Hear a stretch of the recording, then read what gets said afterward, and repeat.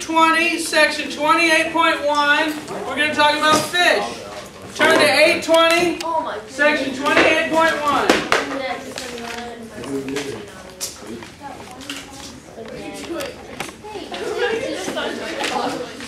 Hey, could we open the blinds, please? Sorry, did I get you? Sorry, did I get you? Hey, Graham, make your lady yourself open the blinds. Your lady yourself open the blinds. Okay, Let's go backwards, that would work. Okay, it's a little bit bright in here. that's good. Listen, Come on. Tucker. Yeah, I thought it was for. No, it's time you to take the trig back. Or she threw at me. Because I don't have a Grow up a little bit, please. Listen, Hey, guys, you Ellen want to touch Grace. the? Yes. Okay, so we're going to start talking about fish today. We're going through the vertebrates. These are the first, the oldest vertebrates are called fish. Of course, they evolved in the oceans. They also live in fresh water. And we're going to look at some of the different things that they have. what page are 820. 820. Now, fish go through a progression. The oldest fish were all filter feeders. And they did not have jaws. Jaws are a later development. And they show in this series of pictures the development of jaws. Jaws evolved from what we call gill arches. If you look at the gills of a fish, they have bony elements that hold that are able to hold the gills open. And what a fish does is a fish swims through the water and has its mouth open, and the water goes in the mouth and comes out the gill arches, the gill openings. And the gill arches hold those gill openings open. And the gill arches have a little bit of a hinge on them so that the fish can open and close its gill openings. As that thing hinges, the gill openings can open and shut. And if you imagine this gill arch evolves where it's bigger and it's more and it's closer to the mouth, then all of a sudden you go from an arch that just opens and closes the gills. If you move it forward, then it's a jaw. That's how jaws evolved. Over the time, the gill arches moved forward and got bigger and stronger. And if you follow this uh, progression here, you see jaws form. And so the first fish were called jawless fish. They didn't even have any jaws. They were just filter feeders. There are still a couple types of jawless fish around today. There's only two species. What kind? There's the hagfish and the lamprey. And I'll show you some pictures of those. It looks like a shark. Most fish nowadays have jaws. Hey, coach. Hey, whoa. Yes. Coach. I don't have to coach. Uh, how does the jawless fish eat? What is that filter feed? Filter feed. They suck in water, water comes out the gills, and it's filtered. Yes. That one on the end kind of looks like a shark. Yes. The first jawed fish were cartilaginous fish like sharks. You did there. Are you just saying that because I said that question on the podcast? Now, Yeah. Oh, I did. fish, Taylor, fish have what we call paired fins. They have a number of different fins that you need to know the names of. The back fins are called the caudal fins. Caudal means toward the back. The anal fin on the back rear. The pelvic fins are on the chest area, hanging down at the bottom. The pectoral fins are on the sides. And then most fish have uh, dorsal fins on their back. Often it comes in pairs where there's two dorsal fins. An anterior dorsal fin and a posterior. What posterior. kind of fish is that? I don't know. Speckle fish?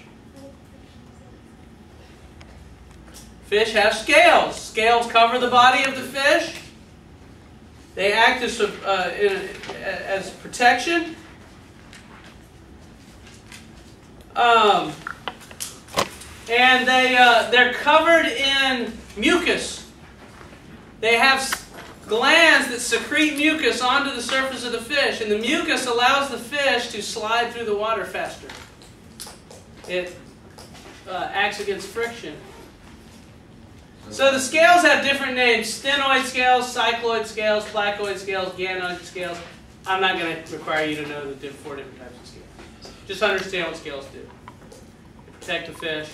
They allow it to move through water quickly. So when we're what we're touching, if like we went to pet a fish, is that mucus or is that algae we're touching? Mucus. Wait, we don't have to know the those four types of scales? No, I covered myself in. That's a little bit too- that's a little bit too hard. I think. Maybe, maybe a bonus question if you want to look over. Bro, Yes. it should say I would cover myself in mucus. Could I swim faster? Yes. You would, you would move faster through the water. You know, like Absolutely. Swimmers, like don't shave their legs or their bodies until like for the Less race, friction. and then they go. That's correct. Mm-hmm. What about gills? Here's how gills work. Water enters their mouth, flows across the gills, and oxygen from the water diffuses into the blood.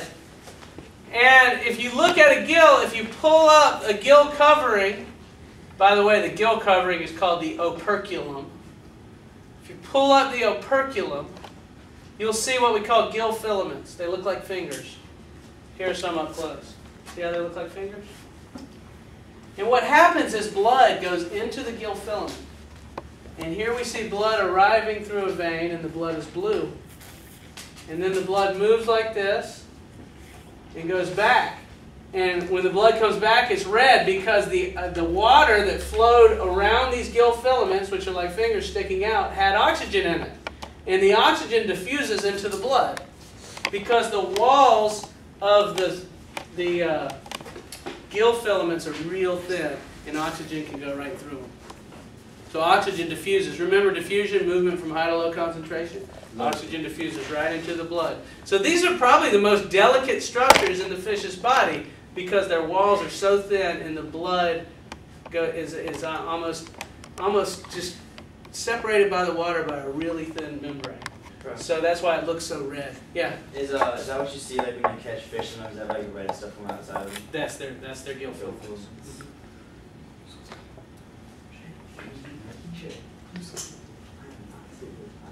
Now, fish have a heart that's basically a two chambered heart. It has an atrium and a ventricle. I know that looks like four things right there, but trust me, it's a two chambered heart.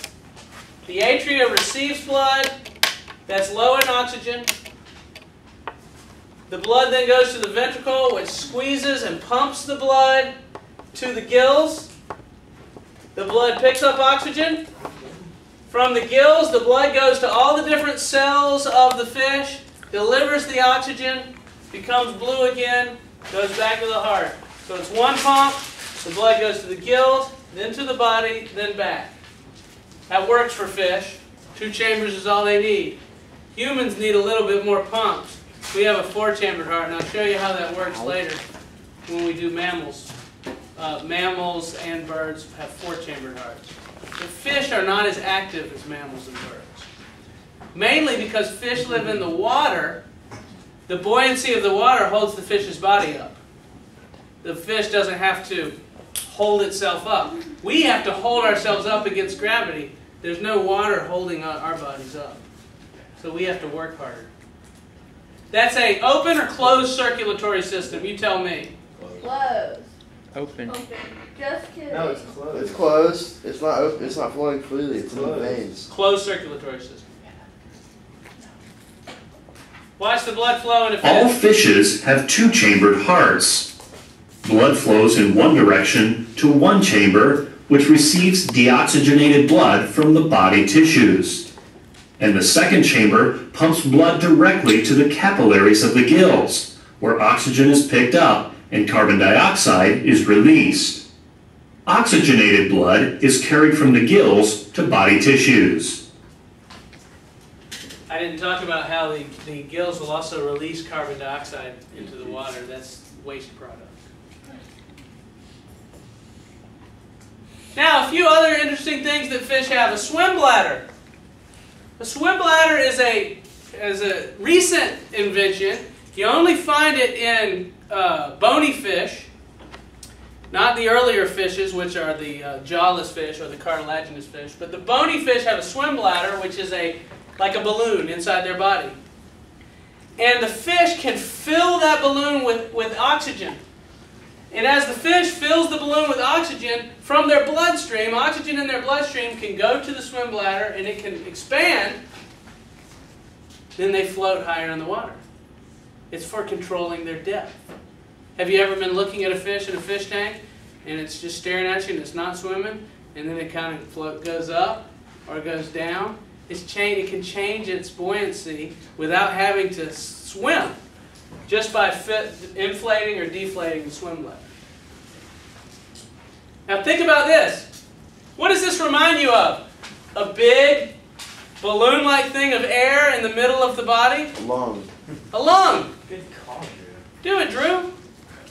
That's where the lungs come from. That is the start of the evolution of the lung. And you see lungs in amphibians. The lungs are just swim bladders that have that have formed a connection with the mouth, so that the amphibian can fill the lung with air by breathing oxygen.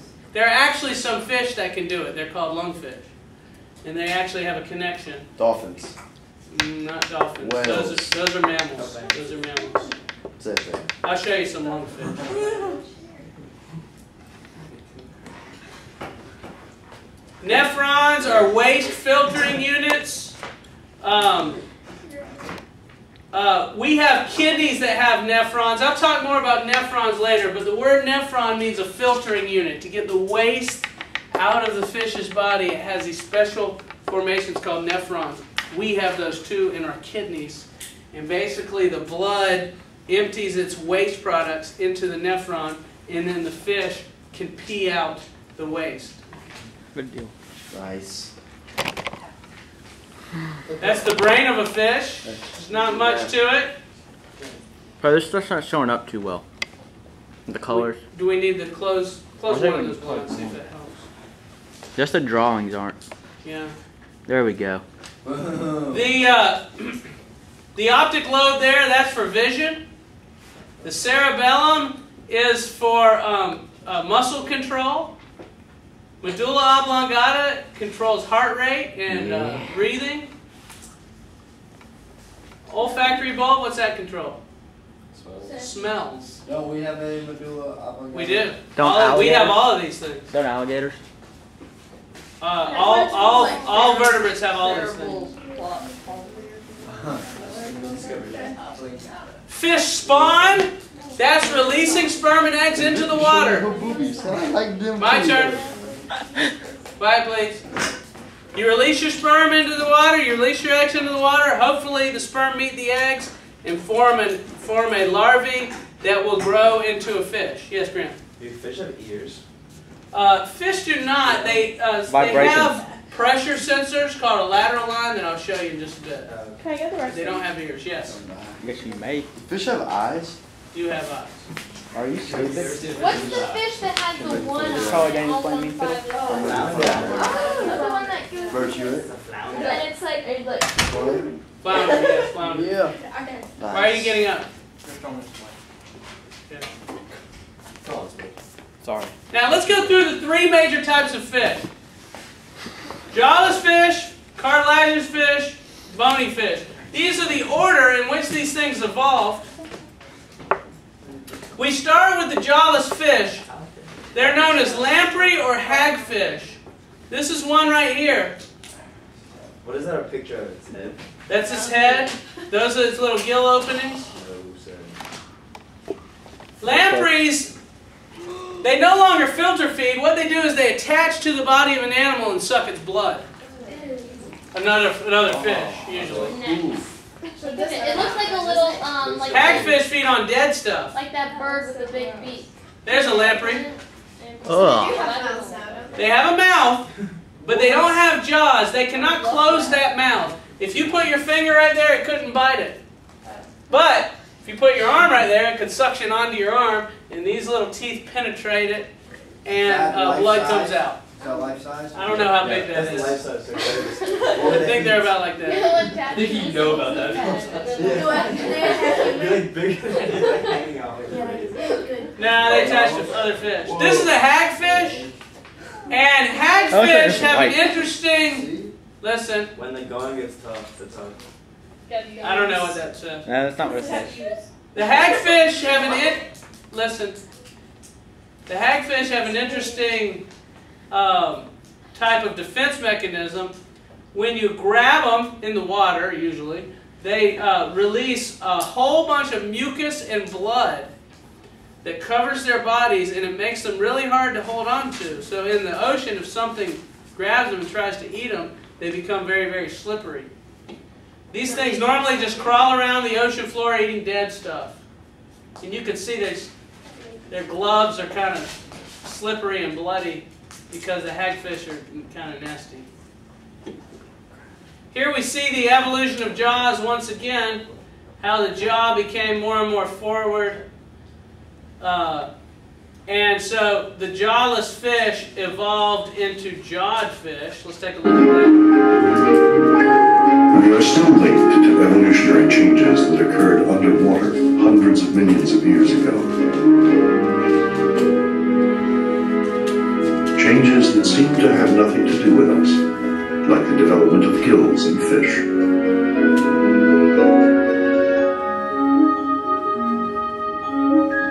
Placed behind the head, the first gills consisted of a number of arches through which blood flowed. Oxygen in the water could then pass through the arch's membranes into the bloodstream.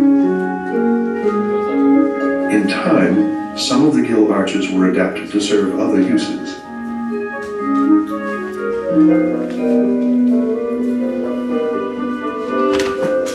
The need to digest food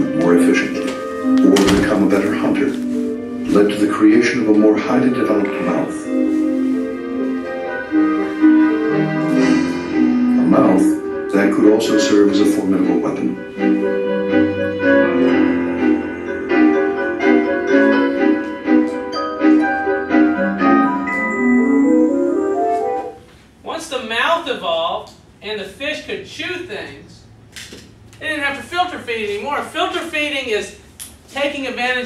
Particles floating around. And you open your mouth and you just filter the water of the small particles. But if you want to eat something big, you need jaws and you can chew it up and make it into small particles. And so that's what the evolution of jaws did. It made it so organisms could eat bigger things.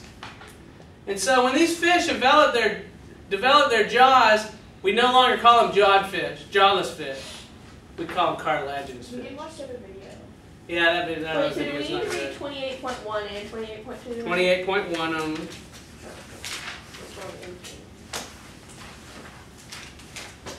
Yeah, we're in twenty-eight point two right Oh, we're in twenty-eight point two. Yeah. Yeah.